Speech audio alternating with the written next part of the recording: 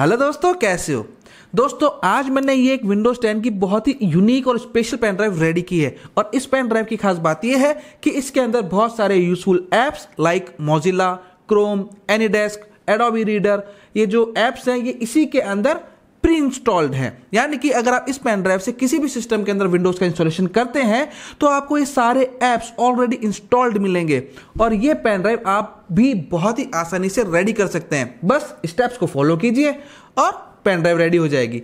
और इसी तरह की इन्फॉर्मेटिव वीडियोस के लिए टेक्नोलॉजी को सब्सक्राइब करना मत भूलिएगा, क्योंकि हम यहाँ पर इसी तरह की इन्फॉर्मेटिव वीडियोस लेकर आते रहते हैं। तो चलिए, आज की टेक्नोलॉजी शुरू करते हैं। इस तरह की कस्टमाइज इंटीग्रेटेड एप्स वाली बुटेबल पेन ड्राइव रेडी करने के लिए हमें मोस्टली चार चीज़ों की ज़रूरत होगी। वो चार चीज़ें कौन कौन सी है?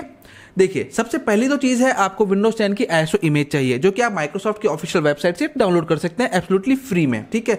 वेबसाइट पर जाइए मीडिया क्रिएशन टूल को डाउनलोड कीजिए और यहाँ से विंडोज़ 10 को डाउनलोड कर लीजिए सिंपल इसके बाद हमें ज़रूरत है एक वर्चुअल मशीन की तो इसके लिए हम यहाँ पर वी एम वेयर प्लेयर को डाउनलोड करेंगे, जो कि एब्सोल्युटली फ्री है। यहाँ पर आपको ऑफिशियल वेबसाइट पे जाना है V M ware dot com पर। यहाँ पर आपको मिल जाएगा डाउनलोड फॉर फ्री इस पर क्लिक करना है आपको।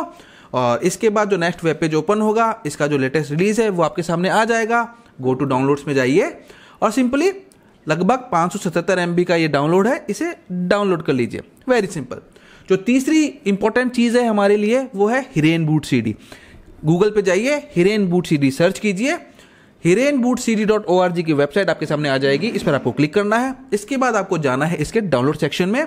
और स्क्रॉल डाउन करके थोड़ा सा आपको नीचे आना है और यहाँ पर इसका जो फ़ाइल नेम है, ये है इसका डाउनलोड इस पर आपको क्लिक करना है। तकरीबन तीन, साढ़े तीन जीबी के आसपास टू पॉइंट की ये इमेज है। इसको आपको डाउनलोड करना है। मैंने ऑलरेडी डाउनलोड कर रखी है, इसलिए मैं स्कीप कर देता हूँ। और इसके बाद नेक्स्ट और आखिरी जो चीज़ है, वो है हमारी पावर आईएसओ पावर कॉम की वेबसाइट पर आपको जाना है और यहाँ पर इसका 32 बिट या फिर 64 बिट जैसी आपकी रिक्वायरमेंट है, वो आपको डाउनलोड कर लेना है। मैंने ये सारी चीज़ें ऑलरेडी डाउनलोड कर रखी है तो हम हम बिगिन करते हैं, ठीक है? ये चारों चीज़ें मैंने ऑलरेडी डाउनलोड कर रखी है तो इन तीन को पावर आईएसओ वीएमवेयर प्लेयर को आपको अपने सिस्टम के अंदर इंस्टॉल कर लेना है, ओके? इसके बाद हम वी एम वेयर प्लेयर को ओपन करेंगे तो हम यहाँ पर सर्च कर लेते हैं वी एम वेयर प्लेयर अब यहाँ पर हम एक विंडोज़ 10 की वर्चुअल मशीन रेडी करेंगे, ठीक है? तो यहाँ पर आपको आना है create a new virtual machine पर आपको आना है, और इसके बाद ये जो ऑप्शन है I will install the operating system later इस पर आपको क्लिक करना है नेक्स्ट पे क्लिक करना है। विंडोज़ 10 या फिर लेटर आपको यहाँ पर चूज़ कर लेना है नेक्स्ट पे क्लिक करना है।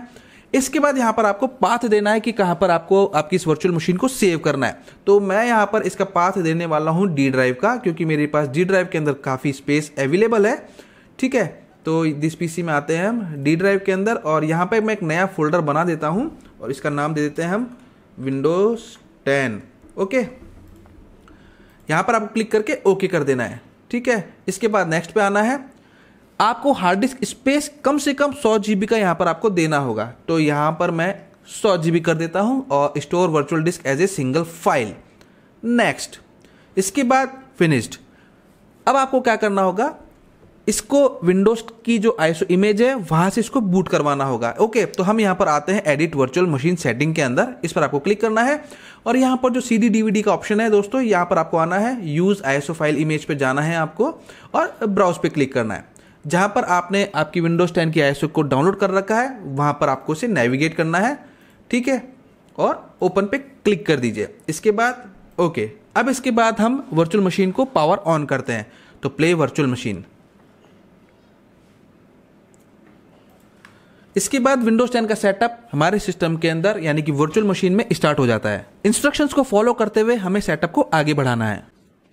मोस्टली लैपटॉप या डेस्कटॉप के अंदर विंडोज़ 10 का होम एडिशन या फिर विंडोज़ 11 का होम एडिशन ही आता है प्री इंस्टॉल तो हम यहाँ पर होम सिंगल लैंग्वेज को ही सिलेक्ट कर लेते हैं। नेक्स्ट पे क्लिक करना है।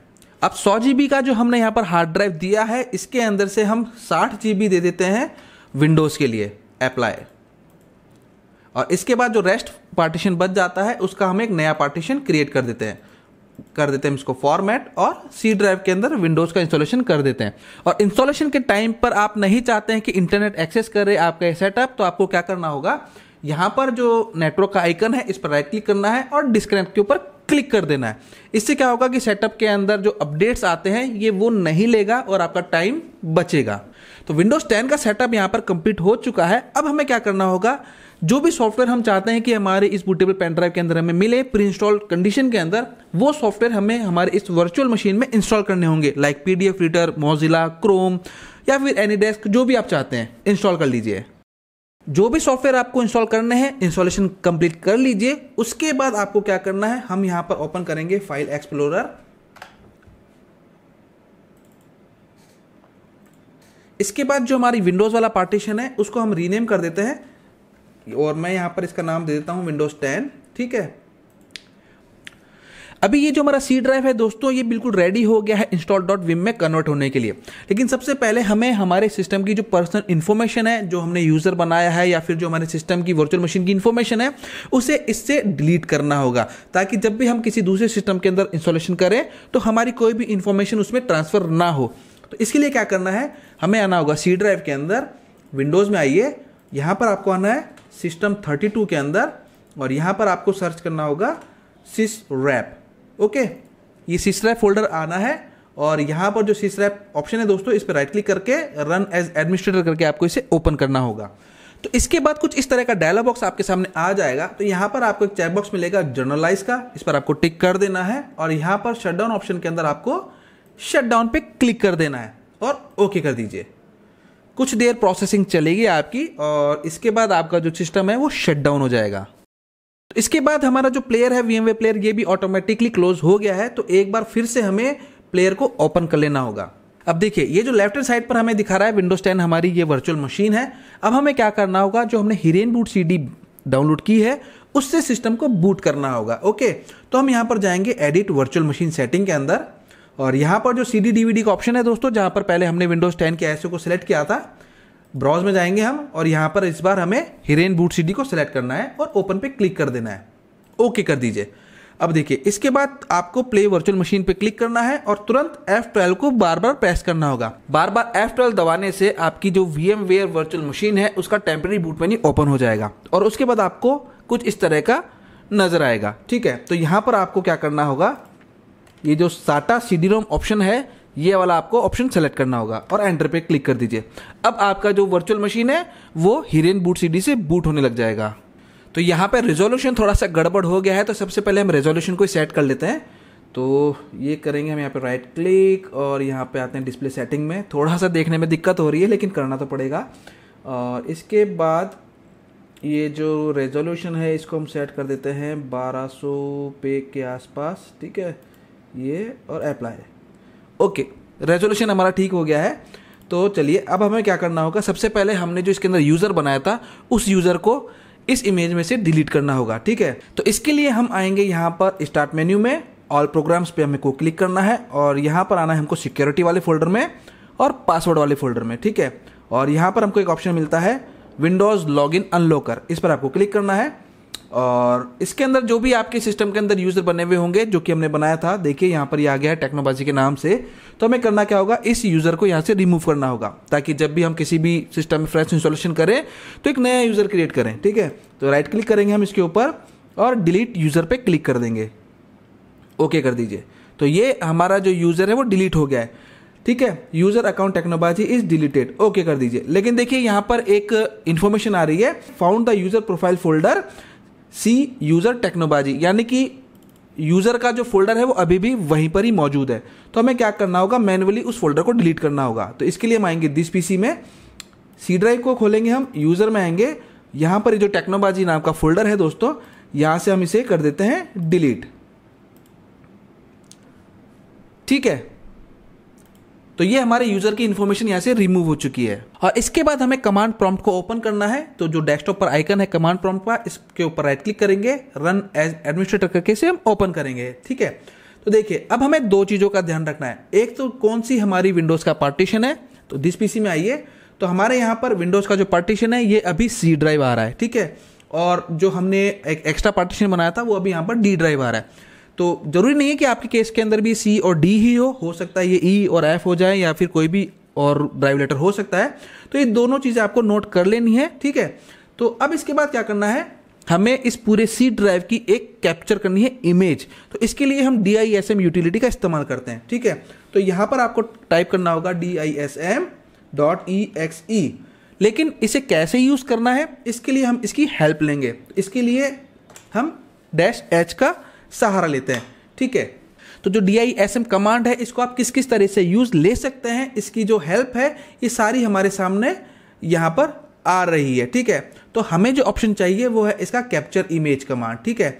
इससे आप क्या कर सकते हैं? Capture an image of a drive into a new Vim file तो इसका यही ऑप्शन हमें यूज़ करना है, ठीक है? लेकिन इसे भी कैसे यूज़ करना है? पूरा एक्सटेंशन क्या होगा? इसके लिए भी हम इसकी हेल्प लेंगे, ठीक है? तो हम फिर से कमांड टाइप करेंगे D I S M dot E X E space देना है बैक स्लैश लगाना है C A P T U R E dash image इसके बाद डैश लगा करके एच ओके तो इस कमांड को कैसे काम लेना है दोस्तों? यहाँ पर इसका एग्ज़ाम्पल पूरा आ गया है ओके तो अब हमें इसी की सहायता से कमांड कंप्लीट करेंगे, ठीक है? तो हम यहाँ पर करेंगे D I S M dot E X E space देंगे हम बैक स्लैश लगाते हैं C A P T U R E dash image और इमेज जो है दोस्तों, वो हमारी कौन सी होगी?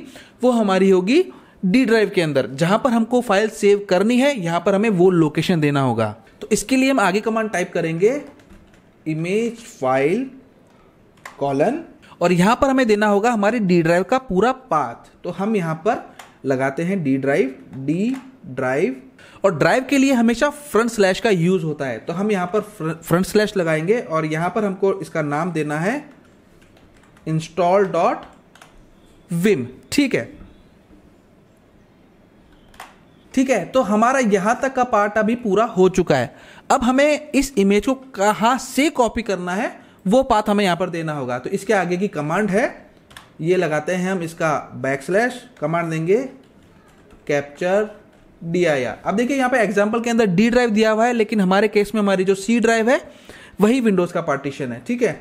तो हम यहाँ पर देंगे सी ड्राइव ओके?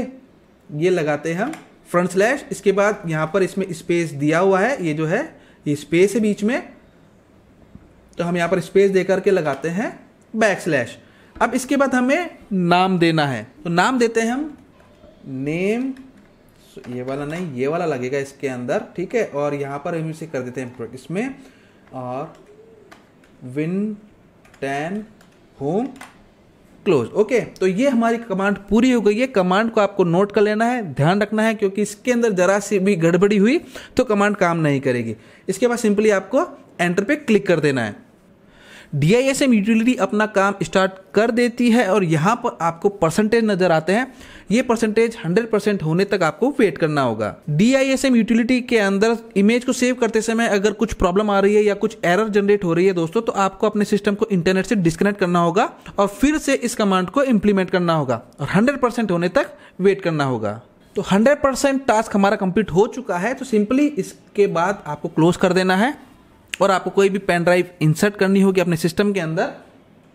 ओके और जैसे ही इस तरह का डायलॉग बॉक्स आपके सामने आएगा तो आपको क्या करना है? वर्चुअल मशीन के अंदर इसको कनेक्ट करना होगा और ओके पे क्लिक कर दीजिए। अब देखिए, ये जो है हमारा डी ड्राइव जहाँ पर ये है हमारा इंस्टॉल डॉट विम जो कि हमने यहाँ पर क्रिएट की है। सिंपल है, इसको कॉपी कीजिए और अपनी पेन ड्राइव के अंदर जो भी आपने इंसर्ट की है, ये है मेरी पेन ड्राइव सिंपली इसके अंदर पेस्ट कर दीजिए। फ़ाइल पूरी कॉपी हो जाने के बाद आपको सिंपल है, इस सिस्टम को कर देना होगा। शट डाउन पेन ड्राइव को सिस्टम से बाहर निकालिए और इसके बाद वर्चुअल मशीन आपकी क्लोज हो जाएगी या नहीं होती है ऑटोमेटिक तो क्लोज कर दीजिए, ठीक है? इसके बाद उस पेन ड्राइव को होस्ट कंप्यूटर के अंदर वापस से आपको कनेक्ट करना होगा और कनेक्ट करने के बाद आपको ये जो विम है दोस्तों, इसको आपको कर लेना है कॉपी और कहीं पे भी आप अपनी मनचाही जगह पर इसे पेस्ट कर सकते हैं। फ़िलहाल जो मेरी डायरेक्टरी है, जहाँ पर मैंने इन चारों चीज़ों को पहले से कॉपी कर रखा है, वही मैं इसे पेस्ट कर देता हूँ। अभी इंस्टॉल डॉट विम का जो फ़ाइल साइज़ है दोस्तों, ये तकरीबन 6.8 जीबी के आसपास है, जो कि एमबीआर मोड वाली विंडोज़ इंस्टॉलेशन के लिए तो परफेक्ट है, लेकिन अगर आप ई e यानी कि जीपीटी पार्टीशन के अंदर इंस्टॉल करना चाहते हैं तो बूटेबल पेन ड्राइव जो है वो फैट 32 में फॉर्मेट होती है। और जो फैट 32 फॉर्मेट है दोस्तों, उसके अंदर कोई भी सिंगल फ़ाइल चार जीबी से ऊपर नहीं होनी चाहिए, क्योंकि वो सपोर्ट नहीं करता है, वो ट्रांसफ़र ही नहीं होगी। तो हमें क्या करना होगा? पहले इस इंस्टॉल डॉट विम को कंप्रेस करना होगा इंस्टॉल डॉट ई फॉर्मेट के लिए। तो इसके लिए हम यहाँ पर यूज़ करने वाले हैं पावर आई एस ओ ठीक है, जो हमने डाउनलोड किया था। इसके बाद इसे रन एज एडमिनिस्ट्रेटर करके इसे आपको ओपन करना है। परमिशन पूछता है तो यस पे क्लिक कर दीजिए। तो हम यहाँ पर इसका अनरजिस्टर्ड वर्जन ही यूज़ करने वाले हैं। कंटिन्यू एस ट्रायल पे क्लिक कर दीजिए। इसके बाद आपको आना है टूल्स वाले ऑप्शन के अंदर और यहाँ पे आपको मिलता है विम ई एस डी कन्वर्टर इस पर आपको क्लिक करना है। अब देखिए, यहाँ पे दो ऑप्शन है E S D to Vim और Vim to E S D तो हमारी जो सोर्स फ़ाइल है वो विम फ़ाइल है। तो हम यहाँ पर विम पे क्लिक करेंगे Vim to E S D पे। इसके बाद सेलेक्ट सोर्स के अंदर जाते हैं हम और ये जो हमारा सोर्स है इंस्टॉल डॉट विम को सिलेक्ट करते हैं। और डेस्टिनेशन हम सेम रहने देते हैं और सिंपल है कन्वर्ट बटन पे क्लिक कर देते हैं।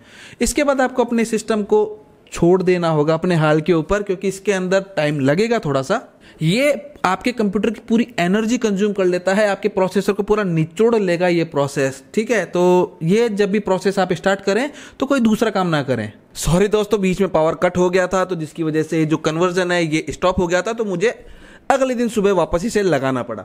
तो देखिए, यहाँ पर हमारा जो कन्वर्जन है वो कंप्लीट हो चुका है। अब हमें क्या करना है? सिंपली इसे कर देना है क्लोज और अब हम आएँगे हमारी सोर्स लोकेशन पर, जहाँ पर हमने हमारी इंस्टॉल डॉट विम को कॉपी किया था, ठीक है?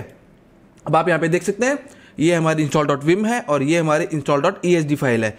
और इसके अगर हम प्रॉपर्टीज़ देखते हैं तो ये चार जी बी से कम है। यही हमको चाहिए था।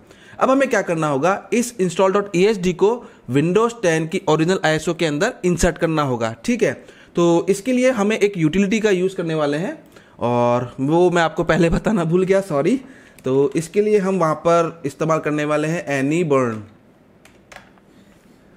ये एक फ्री यूटिलिटी टूल है, जिसकी मदद से हम आईएसओ फ़ाइल को मॉडिफाई कर सकते हैं। तो यहाँ पर मैं 64 बिट का वर्जन डाउनलोड कर रहा हूँ।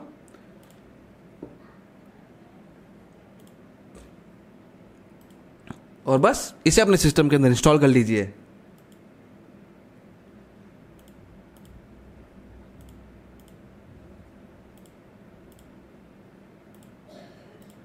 ठीक है, अब देखिए, इसके बाद आपके सामने कुछ इस तरह का एनवायरमेंट आ जाता है। तो यहाँ पर ऑप्शन आता है एडिट इमेज फ़ाइल इस पर आपको क्लिक करना है और यहाँ पर आपको आपकी विंडोज़ टेन जो कि आपने माइक्रोसॉफ्ट से डाउनलोड की थी, उसे सेलेक्ट करना होगा। तो हम यहाँ पर आते हैं हमारी इस विंडोज़ टेन इमेज के ऊपर। ओपन पे क्लिक करते हैं हम। ओके, इसके बाद नेक्स्ट पे क्लिक करते हैं। अब देखिए, इसके बाद हमें हमारे इंस्टॉल डॉट ई को रिप्लेस करना है तो हम जाएँगे यहाँ पे सोर्स के अंदर, और इसके बाद हमें ढूंढनी है इंस्टॉल डॉट ई फ़ाइल तो हम यहाँ पर आते हैं, थोड़ा स्क्रॉल डाउन करके नीचे, और ये रही। इंस्टॉल डॉट ई फ़ाइल इस पर हमें क्या करना है? क्लिक करना है और रिमूव पे क्लिक कर देना है। इसके बाद ऐड पे जाएँगे हम और जो हमारी इंस्टॉल डॉट ई फ़ाइल है, जो भी हमने अभी कन्वर्ट की है, उसको हम यहाँ पर ऐड करवा देंगे। दैट्स इट इसके बाद नेक्स्ट पे क्लिक करना है और वापस से इस फ़ाइल को सेव कर देना है। तो ये हमारी मॉडिफाइड विंडोज़ 10 की कस्टम आईएसओ इमेज तैयार हो गई है, जिसके अंदर काफ़ी सारे एप्स प्री इंस्टॉल्ड है। और इसके बाद आपको एग्जिट कर देना है। बस अब इस आईएसओ फ़ाइल को आप रिफ्यूज से अपने बूटेबल पेन ड्राइव के अंदर कन्वर्ट कीजिए और किसी भी सिस्टम के अंदर इस आईएसओ से विंडोज़ टेन का इंस्टॉलेशन कर लीजिए। दोस्तों, ऐसी यूजफुल वीडियोस के लिए टेक्नोबाजी को सब्सक्राइब करना मत भूलिएगा और हाँ वीडियो अगर ये वाली पसंद आई है तो लाइक ज़रूर कीजिएगा। फिर मुलाकात होगी अगले वीडियो में। गुड बाय जय हिंद